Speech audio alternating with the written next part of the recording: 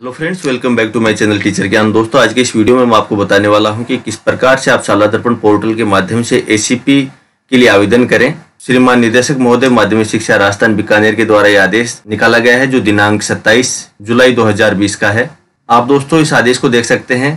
ACP एवं स्थायीकरण प्रकरणों के सहज एवं त्वरित निस्तारण के क्रम में शाला दर्पण पोर्टल पर ऑनलाइन मॉड्यूल प्रारंभ किए गए हैं। पूर्व में भी दिनांक 20 जनवरी 2020 के द्वारा इस संबंध में दिशा निर्देश जारी किए गए थे, लेकिन उस समय तकनीकी समस्याओं के कारण इस पोर्टल को अस्थायी रूप से बंद कर दिया गया था मॉड्यूल को। इसके पश्चात समुचित संशोधन के उपरांत इस मॉड्यूल को पुनः प्रारंभ कर दिया गया है। तो भविष्य में आपको जितने भी एसीपी या फिर स्थायीकरण के आवेदन होंगे, वो आपको साला दर्पण पोर्टल के माध्यम से ही ऑनलाइन करने होंगे। यदि संशोधन के दौरान पुराना डेटा किसी का डिलीट हो गया है तो वह मॉड्यूल पर ऑनलाइन आवेदन पुनः करेंगे। दोस्तों, मैं आपको दिनांक 20 जनवरी 2020 का जो आदेश है, वो भी मैं यहाँ प्रदर्शित कर देता हूँ। ये यहाँ पर दिनांक 20 जनवरी 2020 का जो आदेश था, आप यहाँ देख सकते हैं। स्थायीकरण की ऑनलाइन आवेदन प्रक्रिया कुछ इस प्रकार से यहाँ रहेगी। अलग अलग इसके लिए स्तर पर जो कार्य हैं, वो बांटे गए हैं। इसके बाद में आश्वासित कैरियर प्रगति एसीपी की ऑनलाइन आवेदन प्रक्रिया कुछ इस प्रकार से है। आप देख सकते हैं, सबसे पहले अधिकारी या कार्मिक को क्या करना होगा? सबसे पहले स्टाफ लॉगिन में जाना होगा, उसके बाद में एसीपी के लिए आवेदन करना होगा। यदि कोई त्रुटि रहती है तो प्रपत्र दस के द्वारा उसको संशोधन किया जाएगा। चलिए दोस्तों, मैं आपको यहाँ मॉड्यूल प्रदर्शित कर देता हूँ। सबसे पहले अपने किसी भी ब्राउज़र को ओपन कर लेंगे और यहाँ टाइप कर देंगे साला दर्पण जैसे ही आप यहाँ साला दर्पण टाइप करते हैं फ़र्स्ट पेज आप साला Darpan Raj Shala Darpan dot N I C dot in यहाँ सेलेक्ट कर लेंगे। अभी दोस्तों, आपको यहाँ पर लॉगिन टेब प्रदर्शित हो रहा है। दोस्तों, ये है यहाँ पर ऑफ़िस स्कूल जो लॉगिन है, उनके लिए है, कार्यालय लॉगिन के लिए। आप यहाँ लॉगिन नहीं करेंगे, आप स्क्रॉल करते हुए नीचे की तरफ़ आ जाएँगे। यहाँ आपको ऑप्शन प्रदर्शित हो रहा है स्टाफ विंडो जहाँ मेरा कर्सर चल रहा है। आप यहाँ क्लिक कर देंगे। जैसे ही दोस्तों आप क्लिक करते हैं स्टाफ लॉगिन की जो होम स्क्रीन है, आपको प्रदर्शित होगी। इसके बाद में आप यहाँ जो राइट साइड कॉर्नर में बना हुआ स्टाफ लॉगिन टेब है, इस पर क्लिक कर देंगे। जैसा कि दोस्तों आप सभी जानते हैं फ़र्स्ट यहाँ जो कॉलम है, इसके अंदर लॉगिन आईडी रहेगी सेकंड में पासवर्ड रहेगा।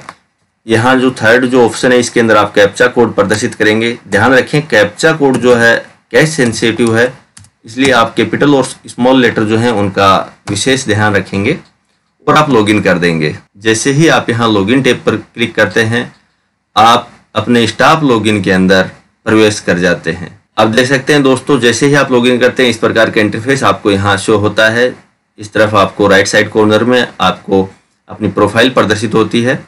नेम जो है प्रदर्शित होता है। इसके बाद में आप यहाँ आपको लिस्ट प्रदर्शित हो रही है। कहीं कहीं एम्प्लॉयज़ के इस प्रकार का मेन्यू प्रदर्शित हो रहा होगा, जिसके अंदर लिस्ट नहीं दिखेगी, सिर्फ़ आइकन प्रदर्शित होंगे। तो आप यहाँ ये यह जो एरो आपको प्रदर्शित हो रही है, जहाँ मेरा कर्सर चल रहा है, इस पर आप क्लिक कर देंगे। तो यहाँ ये लिस्ट ओपन हो जाएगी। एसीपी के लिए आवेदन करना है तो इसके लिए आप आ जाएँगे फॉर्म्स में, आप क्लिक करेंगे। आप नीचे की तरफ़ ऑप्शन आपको प्रदर्शित हो रहा है एप्लीकेशन फॉर डिपार्टमेंटल सर्विस जहाँ मेरा कर्सर चल रहा है दोस्तों। आप यहाँ क्लिक करेंगे। नीचे की तरफ़ एक और लिस्ट ओपन हुई है, जिसके अंदर ऑप्शन आपको प्रदर्शित हो रहा है फॉर्म्स आप क्लिक कर देंगे। जैसे ही आप यहाँ क्लिक करते हैं, दोस्तों स्क्रीन एक बार रिफ्रेश होगा।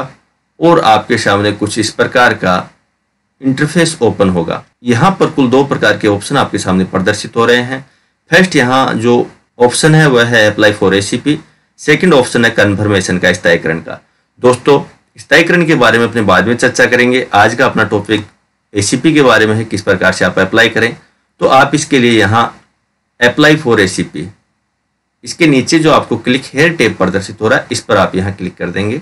जैसे ही आप यहाँ क्लिक करते हैं, एक नई स्क्रीन यहाँ ओपन हो गई है।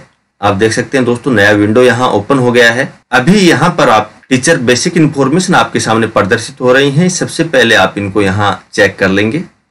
यदि इनके अंदर किसी भी प्रकार की त्रुटि है, मिसमैच है डेटा तो यहाँ पर आप दोस्तों प्रपत्र दस में जाएँगे। वहाँ इनके अंदर करेक्शन करेंगे। विद्यालय लॉगिन के द्वारा। चलो दोस्तों, जैसे ही आप ये चेक कर लेते हैं, आप इसके बाद में आगे की तरफ़ आएँगे। फ़र्स्ट आप यहाँ देख सकते हैं। दोस्तों, आप स्पेशल नोट दिया गया है रेड अक्षरों में आप इस नोट को एक बार ध्यान से पढ़ेंगे।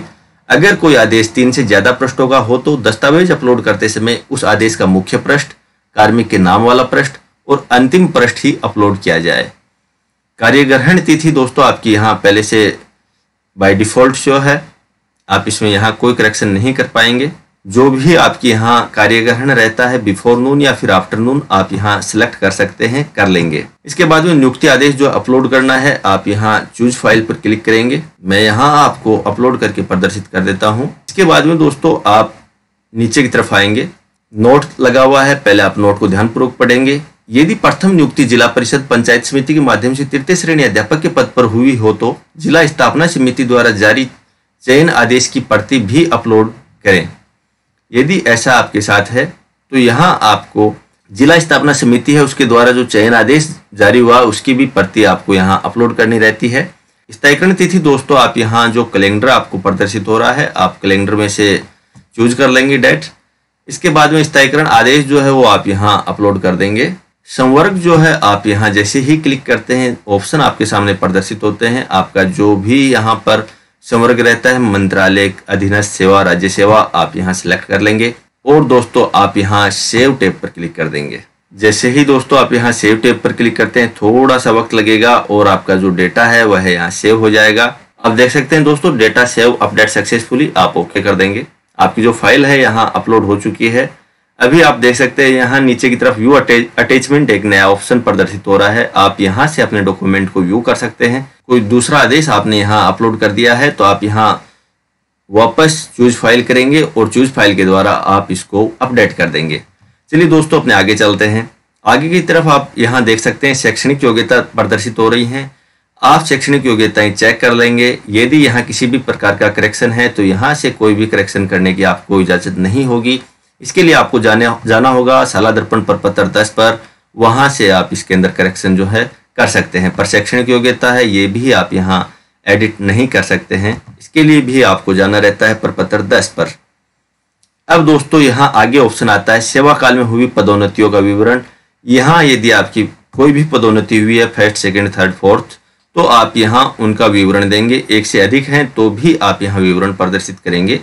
और यदि अभी तक आपकी कोई पदोन्नति नहीं हुई है तो दोस्तों, आप आपके आगे सामने की तरफ़ एक ऑप्शन है, लागू नहीं। दोस्तों, जब पुराना मॉड्यूल था, उसके अंदर यह ऑप्शन नहीं दिया गया था। दोस्तों, यहाँ मैं स्क्रीन को थोड़ा सा लार्ज कर देता हूँ।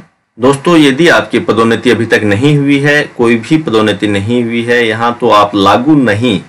इस ऑप्शन पर आप यहाँ क्लिक कर देंगे, लागू नहीं यस आप यहाँ कर देंगे। तो ये जो ऑप्शन है हाइड हो जाएगा। मैं आपको यहाँ प्रदर्शित कर देता हूँ। जैसे ही आप करते हैं, यहाँ लागू नहीं, आप देख सकते हैं, यहाँ ये जो टेबल थी, आपके यहाँ से हाइड हो चुकी है। अभी नेक्स्ट जो ऑप्शन है, ये जो पहले जब वो ये पुराना मॉड्यूल था, उसके अंदर ये ऑप्शन नहीं दिए गए थे। अभी आप यहाँ देख सकते हैं, पूर्व में स्वीकृत चयनित वरिष्ठ वेतनमान का विवरण, यदि आप, पहले आपका कोई भी ए पे लग चुका है तो उसका विवरण आप यहाँ देंगे। फ़र्स्ट, सेकंड जो भी है, और यदि नहीं है तो आप यहाँ पर इसको ब्लैंक रहने देंगे, और आप यहाँ जो लागू नहीं, जो टेब प्रदर्शित हो रहा है, इस पर आप क्लिक कर देंगे। तो ये टेबल भी यहाँ हाइड हो जाता है। इसके बाद ऑप्शन आता है पुनरीक्षित वेतनमान 2008 एवं 2017 में निर्धारण का विवरण। दोस्तों, पुनरीक्षित वेतनमान जो है, उसका विवरण आप यहाँ एंटर करेंगे। जैसे प्रथम, सेकंड, दो वेतनमान यहाँ लग चुके हैं। Six pay commission, seventh pay commission इन दोनों का आप विवरण यहाँ देंगे। तो जैसे ही आप यहाँ क्लिक करते हैं वेतनमान पे बैंड, आप यहाँ सेवंथ के लिए डैश डैश करेंगे। ग्रेड पे पे मैट्रिक्स, आप यहाँ जिस भी लेवल में आते हैं, यहाँ सेलेक्ट कर लेंगे। वेतनमान में विकल्प की जो दिनांक है, वो आप यहाँ सेलेक्ट कर लेंगे। किस दिनांक को आपको ये दय हुआ था? यहाँ ये दिनांक आपको कैलेंडर से सिलेक्ट करनी रहती है। अभी आप आदेश की प्रति जो है, यहाँ आप अपलोड करेंगे। जो भी आपके लिए आदेश था वो प्रति आप यहाँ अपलोड कर देंगे। मैं यहाँ आपको डमी फॉर्म फिल करके बता रहा हूँ और आप यहाँ सेव कर देंगे। जैसे ही आप सेव करते हैं, आप देख सकते हैं, ये लेफ़्ट साइड कॉर्नर के अंदर नीचे की तरफ़ आपका डॉक्यूमेंट अपलोड हो रहा है। दोस्तों, यहाँ आप देख सकते हैं डेटा सेव अपडेट सक्सेसफुली आप ओके कर देंगे पॉपअप विंडो को। आप वापस यहाँ स्क्रॉल करते हुए नीचे की तरफ़ आ जाएँगे। यहाँ सेकंड कोई है नहीं तो मैं इसको यहाँ रहने दूँगा। यदि यह मैंने जो फिल किया वो गलत हो गया है तो यहाँ जो डिलीट का आपको टेप प्रदर्शित हो रहा है, इसके द्वारा आप डिलीट भी इसको कर सकते हैं या फिर एडिट करना चाहें तो इसके द्वारा आप एडिट कर सकते हैं। अभी दोस्तों, आगे आपके नेक्स्ट जो विकल्प आता है, वो आता है आवेदित एसीपी का विवरण। सबसे पहले आप यहाँ प्रकार जो है सिलेक्ट करेंगे। कौन सा आपका एसीपी है? नौ, दस, अठारह, बीस, सत्ताईस, तीस, जो भी एसीपी आपका यहाँ है, आप वो सेलेक्ट कर लेंगे। इसके बाद में आप यहाँ दे दिनांक, जो आपको दिनांक जो है दे, वो आप यहाँ कैलेंडर से सिलेक्ट करेंगे। मैक्सिमम दोस्तों आप यहाँ पर जो आज की दिनांक है, उस तक आप यहाँ सेलेक्ट कर सकते हैं। तो मैं यहाँ आज की दिनांक सेलेक्ट कर देता हूँ। बाकी आप अपने जो कार्य ग्रहण है, उससे नौ वर्ष जो है काउंट कर लेंगे। देय वेतन आयोग जो है, आप यहाँ ड्रॉप डाउन लिस्ट से सिलेक्ट कर लेंगे। जैसे यहाँ सेवंथ है तो मैं यहाँ सेवंथ सेलेक्ट कर दूँगा। इसके बाद में दोस्तों आप वेतनमान पे बैंड पे लेवल आप यहाँ सेलेक्ट करेंगे डैश डैश रहेगा। और दोस्तों, यहाँ पर आप पे मैट्रिक्स जो लेवल है, आप वो सिलेक्ट कर देंगे। जो भी आपका यहाँ एसीपी में जो लेवल है, वो आप यहाँ सेलेक्ट करेंगे। इसके बाद में दोस्तों, आपको जीवित संतानों की जो है इंफॉर्मेशन प्रोवाइड करवानी रहती है।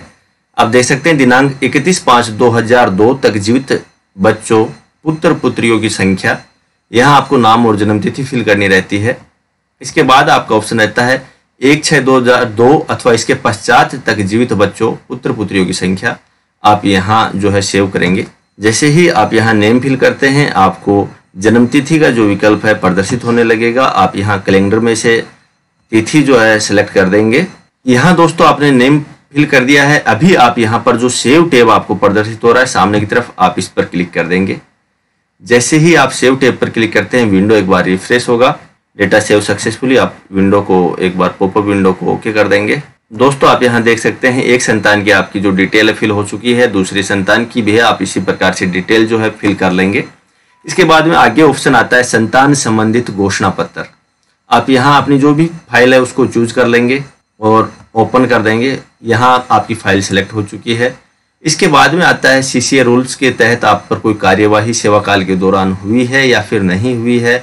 यदि कोई शासित दंडादेश आपको दिया गया है तो आप यहाँ हाँ कर देंगे अदरवाइज़ आप यहाँ इस स्टेप को नो रहने देंगे। और दोस्तों, आप यहाँ जो विकल्प प्रदर्शित हो रहा है, अपडेट, इस पर आप यहाँ क्लिक कर देंगे। अभी दोस्तों, आपने यहाँ अपडेट कर दिया तो आप यहाँ देख सकते हैं, चूज़ फ़ाइल के नीचे भी आपका व्यू अटैचमेंट यहाँ डॉक्यूमेंट अटैच हो चुका है। अभी आप यहाँ फाइनल सबमिट जो आपको टेप प्रदर्शित हो रहा है, आप इस पर क्लिक कर देंगे। जैसे ही दोस्तों आप यहाँ फाइनल सबमिट कर देते हैं, आपके सामने पॉपअप विंडो प्रदर्शित होता है। क्या आप इस प्रविष्टि को अंतिम रूप से आगे प्रेषित करना चाहते हैं? आप यस कर देंगे।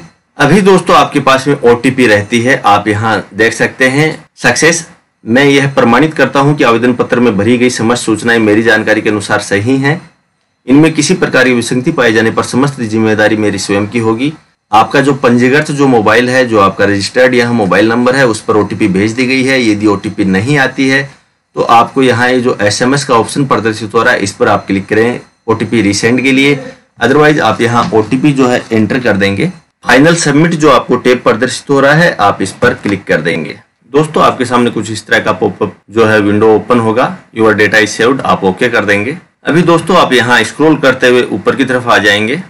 और यहाँ आपको जो प्रिंट टेब प्रदर्शित हो रहा है, आप इस पर क्लिक कर देंगे। जैसे ही दोस्तों, आप यहाँ क्लिक करते हैं, आपके सामने प्रिंट का ऑप्शन प्रदर्शित हो जाएगा। आप यहाँ से इसको प्रिंट ले लेंगे। तो दोस्तों, इस प्रकार से आप यहाँ पर इसको अप्लाई कर सकते हैं। अभी जो आपका ये जो प्रिंटेड फॉर्म है, ये आप यहाँ अपने प्रिंसिपल को या फिर प्रधानाध्यापक को आप जमा करवा देंगे, या फिर पीओ महोदय को आप जमा करवा देंगे। दोस्तों, अपना जो नेक्स्ट वीडियो रहेगा, उसके अंदर मैं आपको बताऊँगा कि किस प्रकार से आप विद्यालय लॉगिन के द्वारा एस जो आवेदन है, उसको अप्रूव या फिर कैंसिल कर सकते हैं। Okay friends thanks for watching उम्मीद करता हूँ आपको वीडियो अच्छा लगा होगा। वीडियो अच्छा लगा है तो आप उसको लाइक शेयर सब्सक्राइब ज़रूर करें। साथ ही आने वाले बेल आइकन को ज़रूर प्रेस कर दें ताकि मेरे आने वाली वीडियो को नोटिफिकेशन आपको मिल सके। Okay bye